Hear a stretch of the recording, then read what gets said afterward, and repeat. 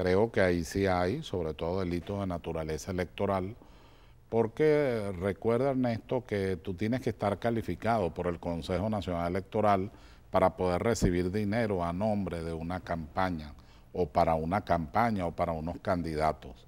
Él dice que ese dinero era para la campaña de eh, eh, Juan Carlos Caldera para la alcaldía de Sucre y no para la de Capriles a la presidencia. Bueno, en este momento el país está en la campaña presidencial. Caldera se está inmolando para eh, digamos, échame a mí la culpa de lo que pasa, como dice la canción, y, proteger a su candidato, ¿no? Sí, pudiera ser.